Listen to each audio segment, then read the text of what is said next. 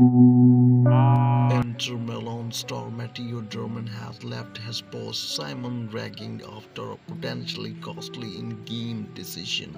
The former Manchester United star wasted a huge opportunity during the second half of his team Champions League showdown with Manchester City.